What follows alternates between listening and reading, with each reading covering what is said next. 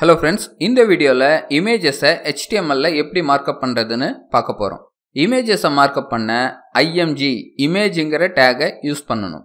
இதுவும் break horizontal rule tag மாதிரியே ஒரு self closing tag self closing டேக்னா என்னன்னு ஞாபகம் இல்லாதவங்களுக்காக மறுபடியும் சொல்கிறேன் opening tag content closing tag இது மூணும் சேர்ந்தது தான் ஒரு ஹெச்டிஎம்எல் எலமெண்ட் செல்ஃப் க்ளோசிங் டேக்ல கான்டென்ட் கிடையாது.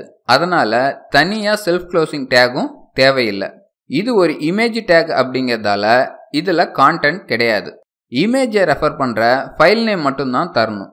இமேஜ் டேகை யூஸ் பண்ணி இமேஜை மார்க்கப் பண்ணுறோம் ப்ரௌசர் ஐஎம்ஜி டேகை ரீட் பண்ணும்போது அது இது ஒரு இமேஜை டிஸ்ப்ளே பண்ணணும்னு தெரிஞ்சுக்கும். அப்படி டிஸ்ப்ளே பண்ண வேண்டிய இமேஜ் எங்கே இருக்குங்கிறத எஸ்ஆர்சி சோர்ஸுங்கிற அட்ரிபியூட்டை யூஸ் பண்ணி சொல்லணும். ஸ்க்ரீனில் ஐஎம்ஜி டேகை யூஸ் பண்ணின கோடு தெரியுது. அதில் எஸ்ஆர்சி அட்ரிபியூட்டில் அந்த இமேஜ் ஃபைலோட நேமை கொடுத்துருக்கேன். அது இல்லாமல் ஆல்ட் அண்ட் டைட்டில்னு ரெண்டு அட்ரிபியூட்ஸ் யூஸ் பண்ணியிருக்கேன் சில ப்ரௌசர்ஸை இமேஜை டிஸ்ப்ளே பண்ணாது.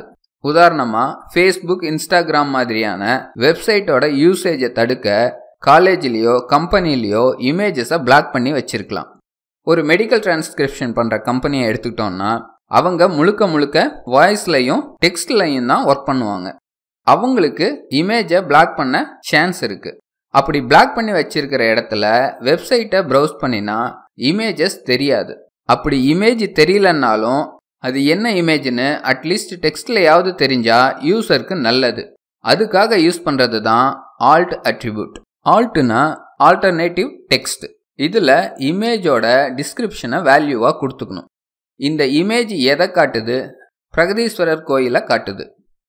அதனால் அதோட டிஸ்கிரிப்ஷனாக பிரகதீஸ்வரர் கோவில்னு ஆல்ட் அட்ரிபியூட்டில் கொடுத்துக்கிறேன்.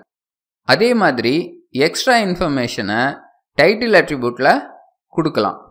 நம்ம ஏற்கனவே டைட்டில் அட்ரிபியூட்டை பார்த்துருக்கோம். டைட்டில் அட்ரிபியூட் இருக்கிற டேக் மேலே நம்ம மவுஸை கொண்டு போய் வச்சா டைட்டில் அட்ரிபியூட்டில் இருக்கிற வேல்யூ நமக்கு டூல் டிப்பாக டிஸ்பிளே ஆகும். இந்த இமேஜுக்கு மேலே வைக்கும்போது பிரகதீஸ்வரர் கோவிலுங்கிற வேல்யூ நமக்கு டூல் டிப்பாக டிஸ்பிளே ஆகுது.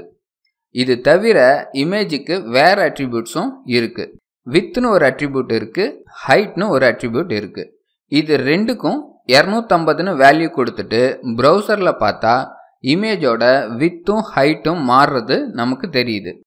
ஆனால் இந்த ரெண்டு அட்ரிபியூட்டும் கான்டென்ட் எப்படி தெரியணும்னு டிசைட் பண்ணுது. நம்ம ஏற்கனவே சொன்ன மாதிரி ப்ரெசன்டேஷனான சிஎஸ்எஸ் தான் இதை ஹேண்டில் பண்ணணும். ஹெச்டிஎம்எல் ஹேண்டில் பண்ணக்கூடாது. அதனால் வித் அண்ட் ஹைட்டுங்கிற இந்த ரெண்டு அட்ரிபியூட்டும் டீப்ரிகேட்டட் அதை இப்போ யாரும் யூஸ் பண்ணுறது இல்லை. இது இல்லாமல் அலைன்னு ஒரு அட்ரிபியூட் இருக்குது அதை யூஸ் பண்ணி இமேஜ் அரிசண்டலாகவும் வெர்டிக்கலாகவும் எப்படி அலைன் ஆகணும்னு சொல்லலாம். அப்படி சொல்கிறதும் ப்ரெசன்டேஷன் தான் அப்படிங்கிறதால இந்த மூணையும் யாரும் இப்போ யூஸ் பண்ணுறது இல்லை. இந்த மூணு எதை செய்யுதோ அதை நம்ம சிஎஸ்எஸில் ஈஸியாக அச்சீவ் பண்ணிக்கலாம். அதனால் இந்த டீப்ரிகேட்டட் அட்ரிபியூட்ஸை எல்லாம் ரிமூவ் பண்ணிடுறேன். இப்போது எக்ஸசைஸ் டைம் ஸ்க்ரீனில் தெரிகிற இந்த பேஜில் அந்த இமேஜை யூஸ் பண்ணணும். அது மட்டும் இல்லாமல் இது முடிக்க நாம் கற்றுக்கிட்ட டெக்ஸ்ட் டேக்ஸை இதில் யூஸ் பண்ண முயற்சி பண்ணுங்கள் உதாரணமாக யுனெஸ்கோங்கிறது ஒரு அப்ரிவியேஷன் விமானம் அப்படிங்கிறத டெஃபினேஷன் டேக்கில் போடலாம்.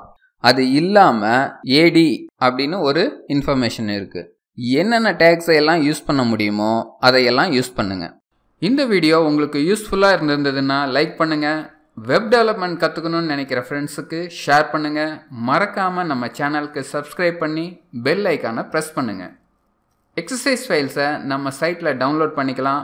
உங்கள் கேள்விகளையும் சந்தேகங்களையும் ஃபாரமில் கேட்கலாம்.